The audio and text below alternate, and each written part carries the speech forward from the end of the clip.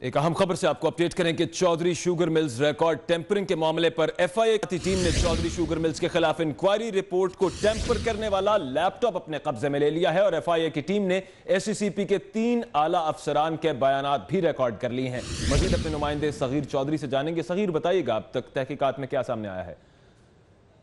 صغیر چودری اگر آپ سن پا رہے ہیں تو بتائیے گا اب تک کیا سامنے آیا ہے تحقیقات میں۔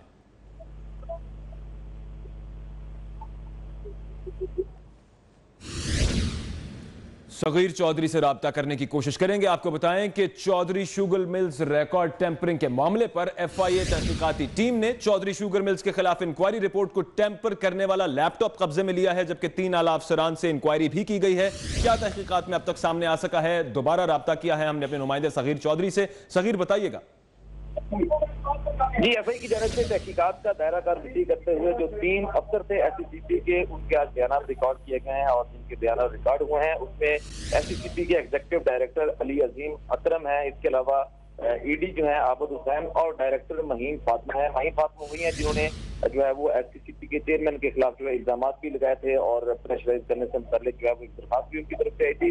ایف آئی کی جانب سے تینوں افسروں کے بیانات جو ہیں وہ قلم بند کر لیے گئے ہیں۔ جو لیپ ٹاپ استعمال ہوا تھا، اس کو قبضے میں لے لیا گیا ہے اور اس کا فرانسک انالیسس کرانے کے لیے اس کو لیبارٹری بھجوا دیا گیا ہے اور جلد جو ہے وہ لیپ ٹاپ کا فرانسک انالیسس بھی کر لیا جائے گا۔ ایف آئی کی جانب سے کہا جا رہا ہے کہ مزید افسروں کے بیانات بھی ریکارڈ کیے جائیں گے۔ جی۔